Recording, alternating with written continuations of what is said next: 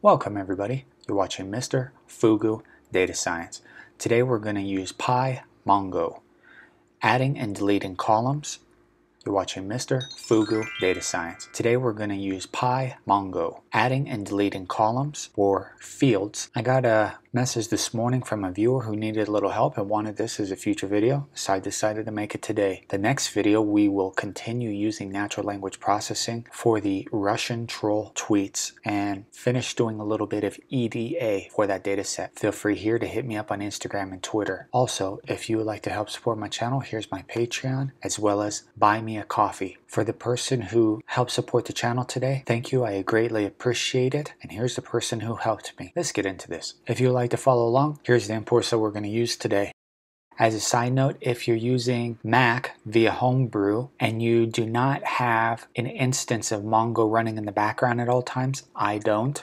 In the terminal, make sure you run this command mongod real quick so you're able to connect to MongoDB. If you've never used MongoDB, I'll leave a card above so you could look at that. I don't have a dedicated server or platform to connect with for MongoDB. If you're using this just for illustrative purposes, just do a connection such as this for PyMongo, whatever database you're looking at, and then whatever collection, aka your table, and just fill those in here. If you have your user credentials or your login information, you're just going to have to substitute that information in here. We're going to do two different ways of creating fields or columns today. One, we're going to look at using the update, and then the second, we're going to look at what add fields does using an aggregate. These data that we're focusing on today look like this.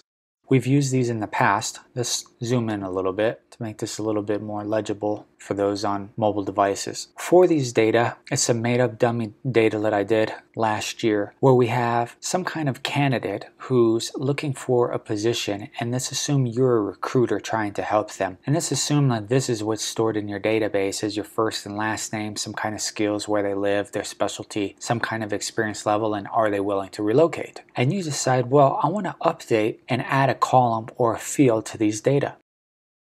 Therefore, we're going to start with the update and the set operator. So this is pretty easy. We're to call in our function that we had before that's allowing us to make the connection to MongoDB and then we're just doing an update. We're going to update everything and then we use this set operator and then the column or field that we want and then whatever values we want. In this case you're updating every document so you have to be aware of that. I decided to leave an empty string because of course we can't assume everyone has the same birthday. That'd be naive and silly. You have these parameters right here. The functions they will have you have your manipulate and then your multiple and you can read the documentation here on what's going on with those. Now if you notice here we made our update by modifying one for entry we scroll down and see that when we updated, we created indeed a date of birth entry. But let's notice something in particular and pay attention. You see, this is for each candidate. While we were able to give each person who has whatever object ID for each entry a birth date, this is outside of our nested region. We can use this, but let's see what this looks like in a second. If we wanted to update one particular person, for example, we would have to call in the from bson dot object ID and then import object ID so we could place it here. And then if you knew the object ID number for the, the person or, or row or document you wanted to place this in, you put that here and then whatever information you would like to update. And you'll notice I have update one. I have the set operator inside of a string, which is important for Mongo, not PyMongo, not when you're using the terminal, for instance. When you print that out running your query, it's going to look like this. So we did that update just for that one particular person, which is Margaret, Margaret McDonald. And Throwing this into a data frame, we see that it's outside of our nested region here. While this could be useful, let's look at what if we wanted to instead put it inside of this candidate. So it'd be inside of this nested region. While this is perfectly fine, I suppose, let's figure out how to do it in here. Instead, when you want to do that, we run the same type of query with this update statement, but you have to do candidate dot. It's the dot notation that you'd use for going inside of nested values. Candidate is the outer, dot, date of birth would be inner. Then it's going to update and create the same thing. But now you say, oh no, now I have a date of birth on the inside of our candidates and on the outside of it. Well, that means we're going to have to delete this field or column later. Let's pay attention to this. I had to run this beforehand, so you're seeing this statement, which was already updated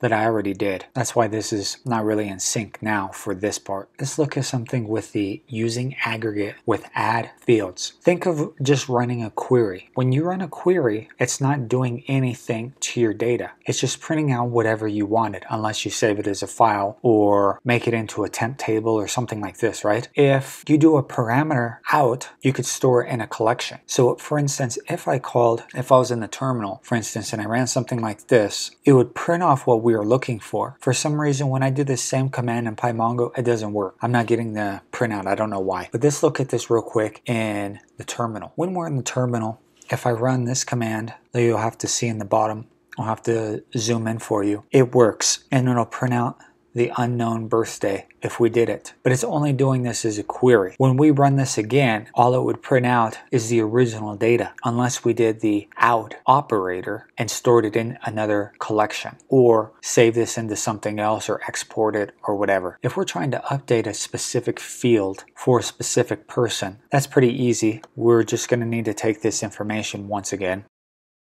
and use our object ID and chuck that in here and whatever information we wanted. For instance, I decided to change this person to have a new field called preferred name. Then their preferred name is going to be BB, which we could print out.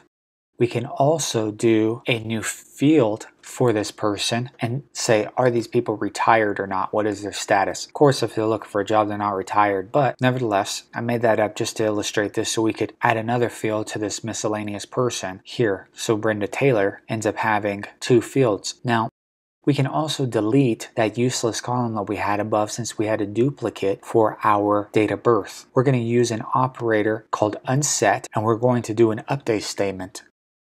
Therefore, we do our update on everything and we use the unset. Remember to put the string around it if you're using PyMongo. If you're not using PyMongo, it doesn't matter. Then our date of birth, which is going to be true, and then we're getting rid of it. And then don't forget the false and the true. And you can look at what those parameters are in the, the documentation. Just do a shift tab you notice that we have this modified equal to 1. We can run a find 1 and notice that the extra date of birth on the outside is gone. We can take this and we can see what this looks like real quick. So you can see that extra column that we had before is gone. If we went inside of our candidate, we could see that we have these people. Let's go inside of it again. Now we can see that we have that date of birth. Let's get into some further thoughts real quick. Three other things that we need to look at first is the push operator and add to set. Both of these are dealing with arrays you have to pay attention to this because depending on your data, if you're trying to access or add fields within an array, these are two operators you should look into. If you're trying to adjust element wise, I would say, look at an each operator if you're doing this add to set. That could help you out.